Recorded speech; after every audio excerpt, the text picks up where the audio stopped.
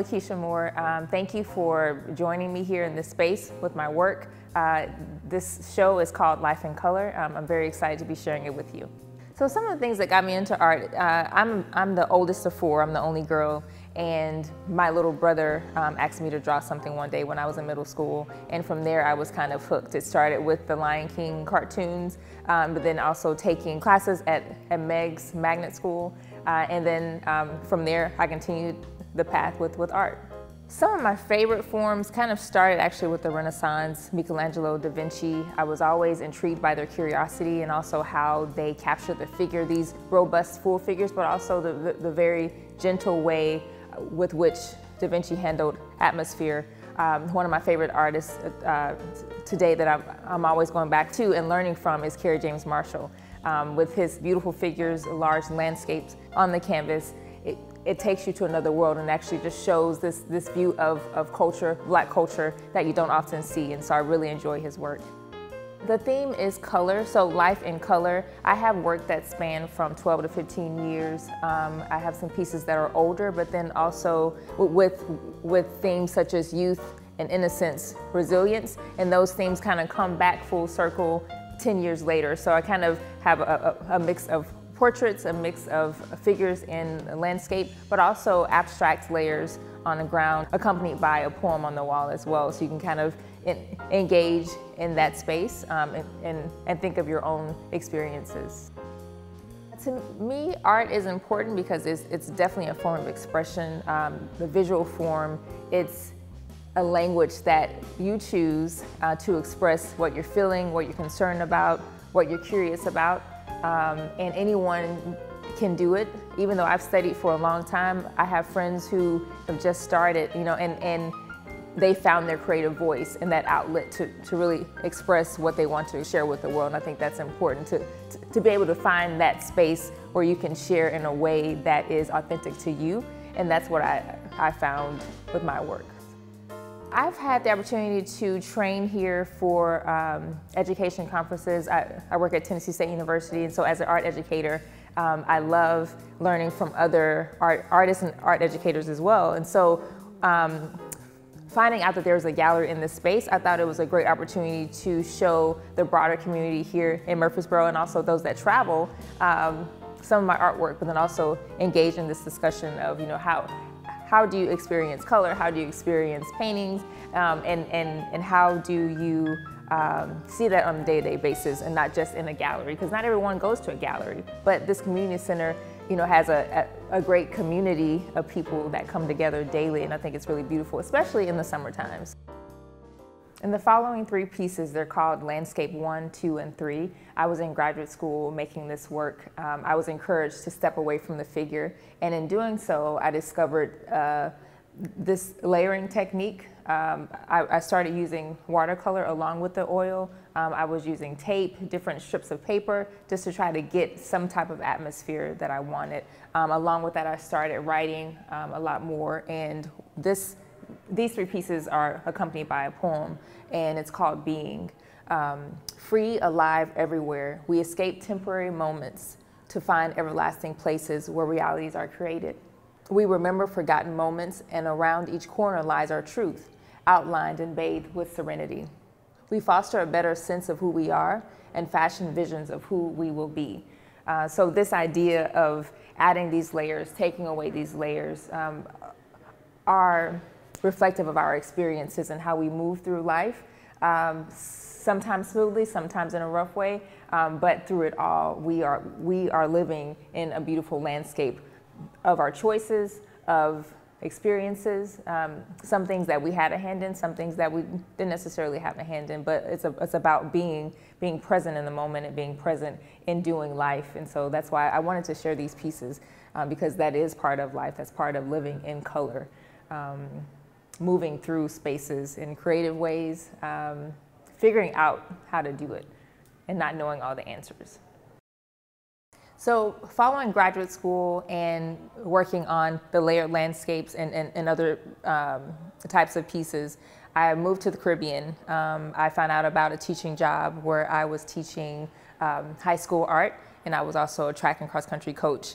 Um, being surrounded by the beautiful landscape, um, I was encouraged to go back to the figure, uh, seeing such beautiful people who were reflective of my own family members, reflective of my friends from home.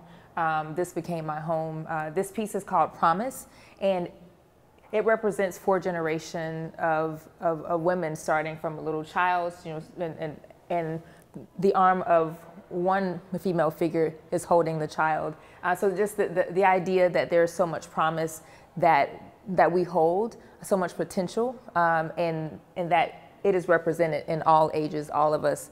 Um, and being that these are women, I was kind of also rediscovering myself. You know, as a woman, I was surrounded by other women who were encouraging me, whether they were from church, from school. Um, and so I was, I was affirmed by all these strong, beautiful black women, you know, who were, who were standing with me. You know, by Angelo um, talks about how we are, are, are not alone. Um, not only are ancestors with us, but we also walk with, with those who have walked with us, who have shown us the way, and also they give us the space to figure that, that way out too. And so this, what, this is what this piece represents uh, for me, so the, the, the promise. How do we heal the nations? We take on what is life, love, and spirit. This is an oil on canvas. Um, this is one of my newest pieces. Uh, a while back, I was trying to figure out, you know, how we were all kind of dealing with, you know, being inside, the changes, transition, death, um, healing that has taken place through this last year and a half or even longer. Um, and but I, I couldn't push this piece out, but I, I, I heard a documentary um, that first started with Billie Holiday, and it came from they, they they mentioned a scripture from Revelation 22 and that spoke about the tree that would heal the nations. And so I got to I began thinking about the, this fruit, right? And and I've I've used the ginkgo fruit before in my earlier paintings from graduate school and also recently. And the the um, representation of the ginkgo tree and the fruit for me, um, again, thinking about memory and life and flourishing through life, right? So this this is I wrote this how do we heal the nation? So this asking ourselves this question in, in terms of what what do we need to do? What can we do on a day-to-day basis for ourselves, for each other? Um, we take on what is life, love, and spirit. And so by using the ginkgo fruit, actually I have, um, not only am I using the rays again, but I'm also, I, I have a, a, a faint image of the ankh in the, in the background, so it's more in that gold. And so, and, and and it is symbolic for life. And so not just simply having the rays, but also using other symbols um, that are known symbols, Kemetic symbols even for, for life. Um, so this is what I was trying to kind of journey through with making this piece. It, it took a minute to, to, come to, but then once I was ready for it, I was ready for it. So I think it, it speaks to the, the, the the process of making work um, as an artist. Sometimes it's not going to, to be as crystal clear. Um, it takes a moment, you know, for you to, to find that, find the pace and find the, find the, the texture, find the color that you want, um, and to build on the layers that you want to tell the story or to create the image. Um, and, and this was for me that piece that that was a struggle to get out you know and i think it's also symbolic for this struggle that we've all been in right um, trying to figure out how to do it there's no one way you know that's worked for everyone but we figure it out day by day as a student at Washington University in St. Louis, I had the opportunity to travel abroad to Florence, Italy. Um, during one of our trips, we went to Siena. And during our trip there, we were walking through the streets and we, we happened upon a Pinocchio parade. And I love capturing those moments that we find that are just unbelievably poetic. And so in this case, I saw this little boy and he was wearing this red cape. You had all the parents surrounding the children. They were all excited, ecstatic, and, and here he is in a very calm, you know, kind of a low-key demeanor. Um, I'm not sure if he wanted to be there or not, but it was just very interesting, and I, I wanted to capture that when I came back home. And so this is one of the pieces that I did uh, during my uh, junior and senior year, actually my senior year as a student there. And um, I wanted to capture the light that I saw, especially the light in, um, in Italy, but also the light on his face, the light on the clothes. I wanted to capture the texture that I found from the photographic reference that I took. Um, and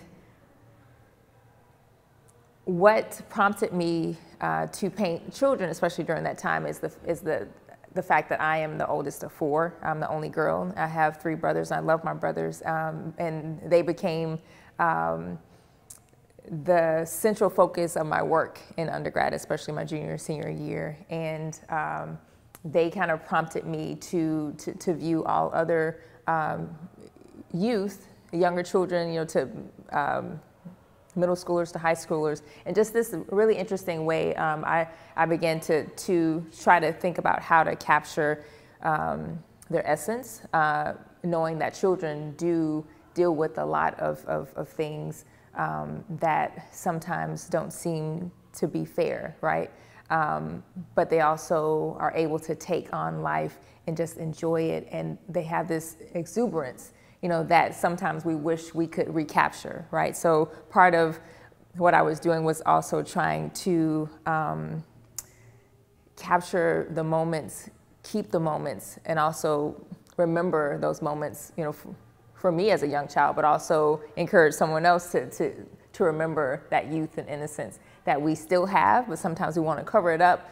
Um, sometimes it's, it's, it's hard to be that youthful person or self um, because we're dealing with so many other things, right? And so I, I just, I am encouraged by children, um, their brightness, their view, outlook on life, um, and how um, they live and we can follow their leading you know as, as, the scripture as the scripture says a child shall lead them right and i think that's in a lot of cases and so um, this young man is is, is the um, i saw something in this moment that I, I wanted to capture. So the red cape